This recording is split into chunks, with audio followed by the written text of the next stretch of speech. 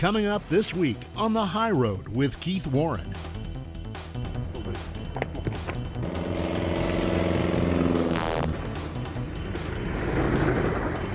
There's a bad guy right there.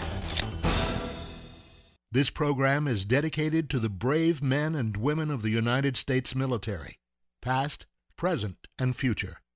May God bless America.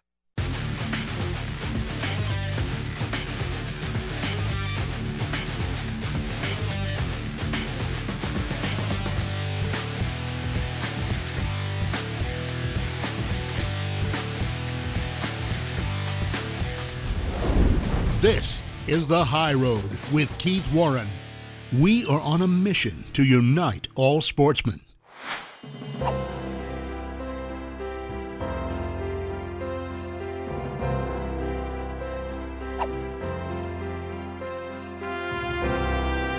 This week, the high road takes us north to America's final frontier and the breathtaking beauty of Alaska.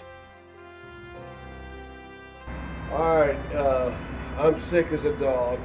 We are in Fairbanks, Alaska, and uh, we're going to go on a sheep, moose, grizzly, black bear, wolf hunt the next few weeks with Castle Rock Outfitters. We're waiting on a bus to pick us up now, and I am sick as a dog, and the weather sucks. Hello, I'm Brent Keith with uh, Castle Rock Outfitters, owner and operator. We conduct hunts in the Alaska Range and interior of Alaska. We offer hunts for Dall sheep, moose, caribou, interior grizzly bear, black bear, wolf, wolverine, and uh, offer some predator hunts in the wintertime as well. Joining me in the hunt is Tony Lind. Tony's old hunting buddy of mine, and uh, he loves adventure. And so there's no question about it. This hunt in Alaska is going to be an adventure. It's a good life. That's all I can tell you. It's a good life. Tony and I are on our way to the small town of Healy, the home of Castle Rock Outfitters. We're in Healy. We've been uh, we stayed at this bed and breakfast. These guys are here from Europe, and we're waiting on uh, them to come pick us up for the plane. I've been sick for a couple of days and not feeling really good now, but they'll take a plane ride in a minute. I hope.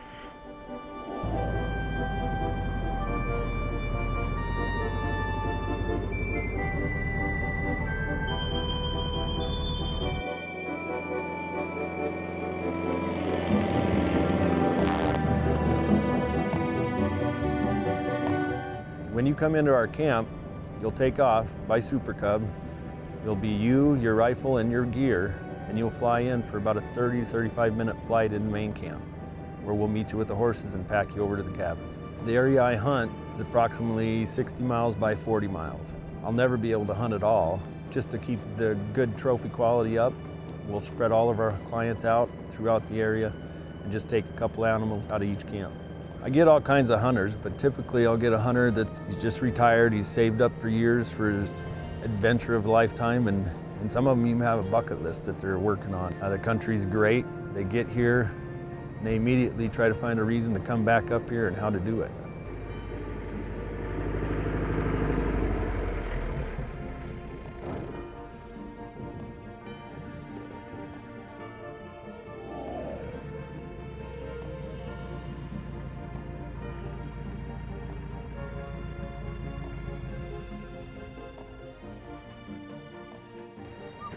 Luggage.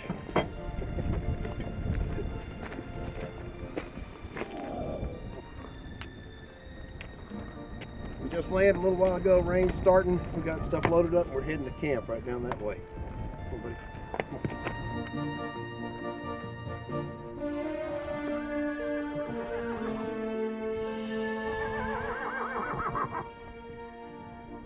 The High Road with Keith Warren, brought to you in part by Savage Arms, Diamond Archery, Record Rack Deer Feeds, Bad Boy Multi Terrain Vehicles and Bad Boy Mowers, and new supercharged scent killer by Wildlife Research Center, beyond 99%.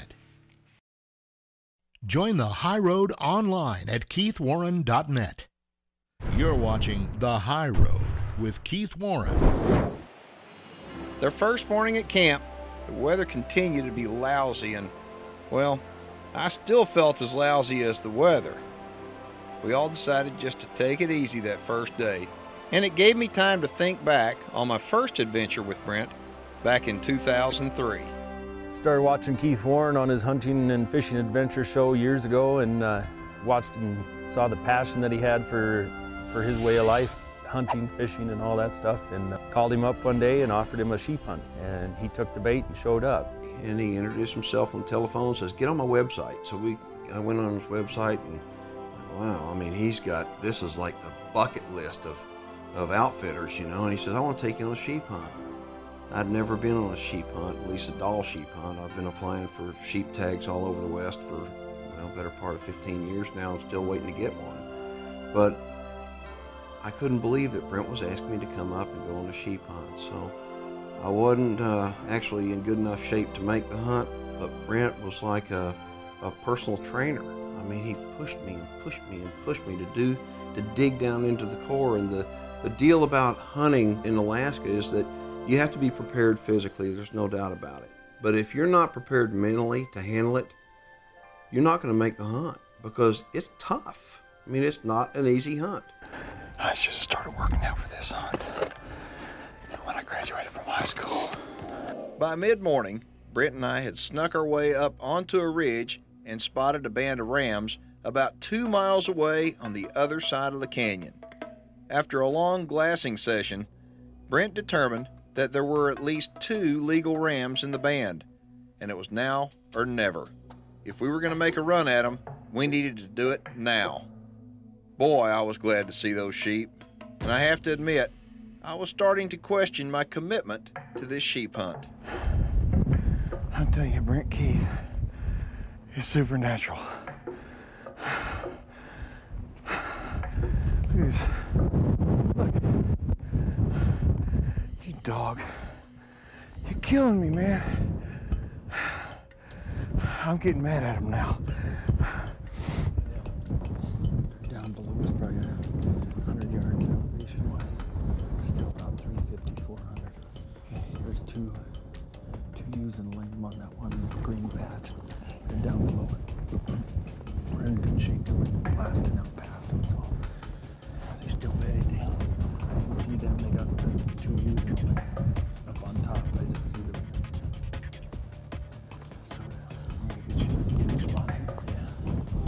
With the second one, right? Second one. Broadside? Yep, walking away from us now. You go.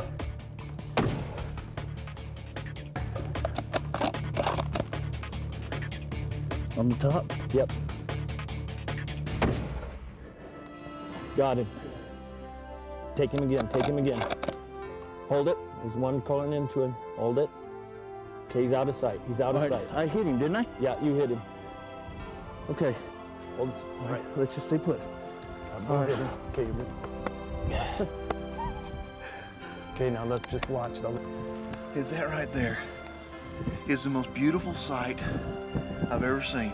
I know I have a down Dall sheep, and to see a rainbow like that, that's beautiful. We punished him proper like up and down those mountains and he went home with a beautiful Dall sheep. And, and at that point when we left each other's company there, he, he wanted to come back on a moose hunt and, and we finally put it together. It's time for viewer feedback, brought to you by Bad Boy Multi Terrain Vehicles and Bad Boy Mowers. Grant Peterson is stationed in Iraq in the U.S. Army. Says, Mr. Warren, I want to thank you for your unwavering support of the United States military as the war seems to go on and on. It seems like many Americans have unfortunately forgotten that there is even a war going on. Most of the guys in my unit are outdoorsmen, and we've watched your show for years. Now, even in Iraq, we never miss an episode thanks to you now having your shows streaming on your website. Keep up the good work. On behalf of all the guys in my unit, we wish you the best in all you do. Grant, thank you, and thanks to all the guys in your unit. Thanks to all the people that are in uniform and ever been in uniform for your service to our country. That's, that's first. Thanks for a flattering email. That's awesome. But you bring up a good point. Uh, people that are in the military in Afghanistan, shoot, over in, in South Korea. I mean, we get emails from soldiers all the time that watch us online. At keithwarren.net, we have all of our episodes on there, and they're commercial free. And so I want to thank all the people in the military for, for your service. But uh, I want to encourage everybody if you want to watch our show online, You can do it 24 7. All you need to do is go to our website. Our website address is keithwarren.net. The High Road with Keith Warren, brought to you in part by Glock, Reconyx Game Cameras, Chaffhaye Pasture in a Bag, Valley View Whitetails, Shadow Hunter Blinds, and Burt Coyote's Lumenok. All High Road programs are available on demand for free 24 7 at keithwarren.net.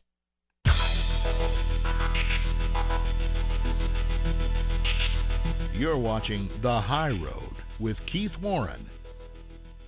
First couple of days, Keith and Tony showed up at camp. It was miserable, rainy, windy, and to kick it all off, Keith was sick.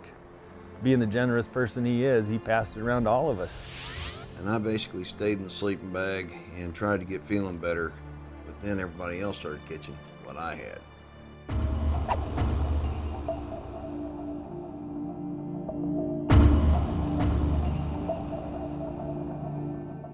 I used this opportunity to reminisce on a trip that Tony and I had taken to Alaska back in February on a predator hunt.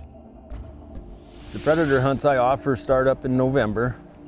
Um, it's an it's an all-inclusive hunt. We pick them up in Fairbanks, put them up in a hotel before we head out the next day, and I have them purchase a hunting and trapping license. That way, we can put traps on the ground, snares, as well as do some spot and stock and some calling for the predators. Welcome to Alaska. It is uh, about the middle of February, and we are fixing to take about a 60 mile ride up the Wolf River where we're going after predators.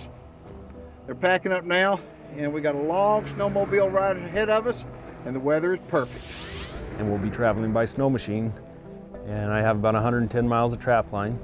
It's a real good hunt. We get to cover a lot of good ground. If we're real lucky, we'll get some good weather, some good northern lights, and we'll keep running those all the way up into the end of March. We made a long ride up here. We're up in the Wood River, up in a cabin, and it uh, it's pretty primitive. It's below zero outside. It's absolutely beautiful. There is no place I'd rather be than right here. One of the big reasons I trap is my own predator control, if you will, and it just keeps a balance of population between the predators and the ungulates. My best set that I utilize for trapping wolves is the Alaska number nine Manning trap. It's a nine inch spread jaw, and I like the leg holds more than the snares. Basically, what we do is we use coyote urine, or we'll find a urine set that the, the wolves are using already. And we'll go ahead and put those in. I'll give instructions to the client how to put that set in, and then after that, they'll take over from there. I'll give them a hand, point them in the right direction, correct something, or and sometimes I even learn from a client once in a while. The best way to trap the lynx is, is get a good attractor, and we utilize a lot of different things: that ptarmigan wing, grouse wing, goose wing, just something that flutters out there in the wind and, and collects moonlight in the evenings. And it's the old adage: curiosity got the cat. Works really well. The traps that Brent uses uh, catch all different kinds of animals, and uh, he's primarily going after lynx, wolf, and uh, and fox. And here's a set right here with a nice lynx in it. It's a nice mature animal, and uh, he's got some beautiful fur on him. As far as the predator hunts go, the client takes home whatever he traps or shoots. The Client's fur will be professionally handled. I'll skin it. I will put it in taxidermy quality. When it's all said and done, it'll be salted and then frozen on top of that, sealed by Fish and Game, and then shipped to the client when it's all sealed and done. The first few days of our predator hunt, we'll go out on the snow machine, we'll get some sets set that'll work 24 7 for us, and then we'll start utilizing the spot and stock and doing some calling. Basically, what I'll do is I'll set up on a high point and I use a Fox Pro digital collar, and I'll set that up down below, and then we'll get set up. We usually wait 20 minutes, to let the, the noise calm down, and, and then we'll start working that call. At first, the calling was slow going, but we knew the animals were here. I had sent several Reconyx game cameras to Brent, and he had set them up all along his trap line. And the photos, well, they showed a lot of lynx in the area and even a big wolf. But for several days, we just weren't seeing anything on the ground. Then finally, Brent spotted this silver fox and gave Tony the go ahead to take a shot. How far is it, Brent? 240 yards, Tony.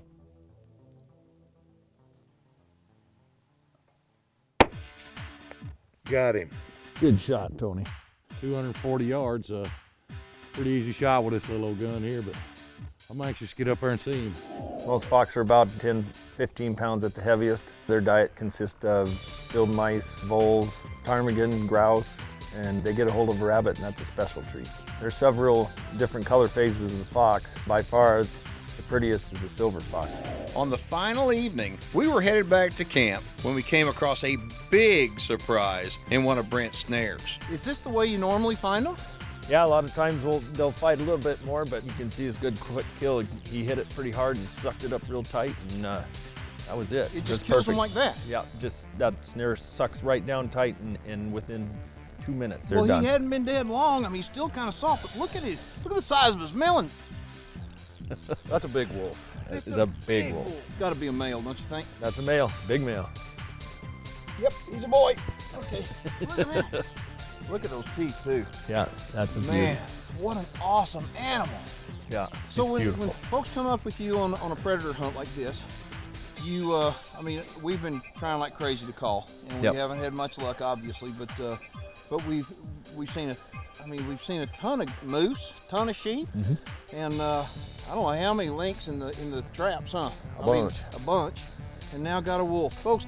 Brent Keith runs Castle Rock Outfitters out of Healy, Alaska, and uh, I've been sheep hunting with him. Tony and I are going to be back here this coming fall. We're going to do sheep, moose, and grizzly. And if y'all want more information on coming up here hunting predators like this, or hunting big game uh, with Brent, all you got to do is give him a holler, and we'll have a direct link off of our website to his website. And once again, you're supernatural. I appreciate you. The High Road with Keith Warren. Brought to you in part by Oilfield Camo, iHuntAmerica.com, BSA Optics, Gamo Air Guns, and Jarden Consumer Solutions, makers of the Game Saver. Keep up with Keith as he continues on the high road and become eligible to win some great prizes by becoming a fan on our Facebook page.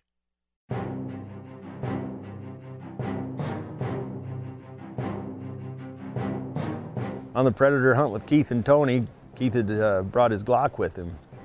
And we had one slow day there and, and plenty of rabbits and hares running around and he decided to just see if he could wear them out with that thing. We had a heck of a good time. We got some unusually warm weather. It's about uh, probably about 35 degrees right now. A lot of snow on the ground, and we're going to go out and have some fun.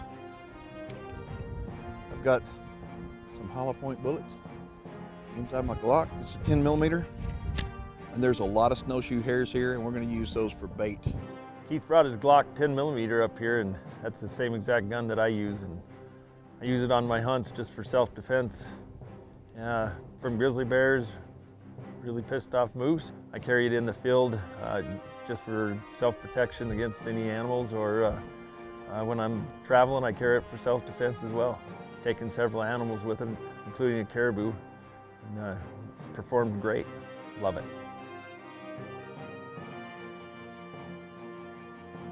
All right, here we go, fellas. Woo-hoo-hoo! He took one last hop. Hunting with a Glock. You know, Glocks are used primarily by 99% of the people in the country for personal defense, and you can't do any better than that. That's a 10 millimeter. And uh, I carry it with me hunting, and the reason why I do is because in many cases I can get to practice on live moving targets. And uh, this guy right here, it's wintertime and they're really good to eat. Ooh, well, there's a lot of rabbit sign here.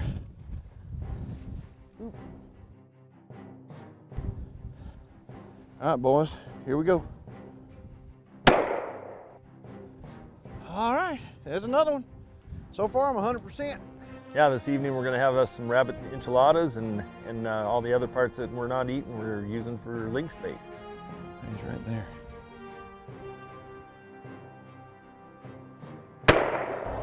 Got him. Over the years, I've had a lot of guys come up here, but I've never seen anybody so mad at these rabbits as Keith Warren.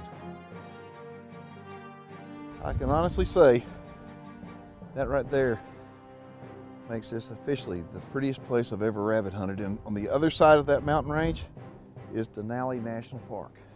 There's rabbit sign all over the place. I guess uh, sounds like on this mountain about what it sounded like when our guys showed up in Iraq and Afghanistan to take care of the bad guys. They wound up, showed up, and those terrorists were terrorized by the best guys on earth. Guy right there.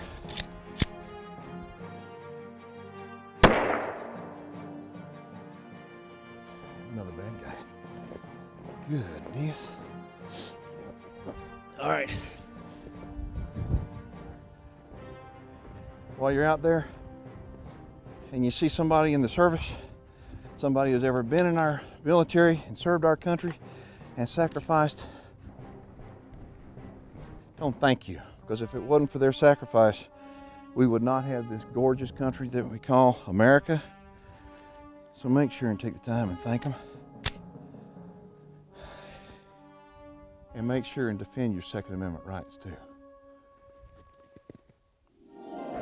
The rain finally stopped. And we are stir crazy and we'd be crazy to go up on the mountain because the clouds are way, way down low. So we're just gonna sit it out and hopefully in the morning clouds will be gone and we can start the hunt. But we're having a good time anyway.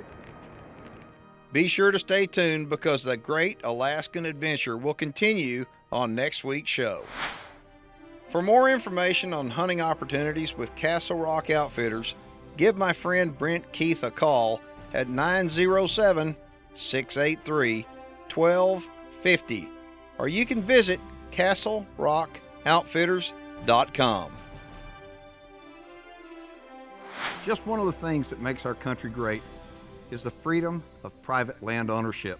And to celebrate that, we have created a brand new program called Ranch Properties TV that airs right here on the Pursuit Channel.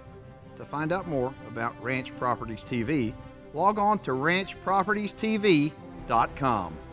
If you have a question, comment, or story you'd like to see on the high road, let us hear from you online at keithwarren.net.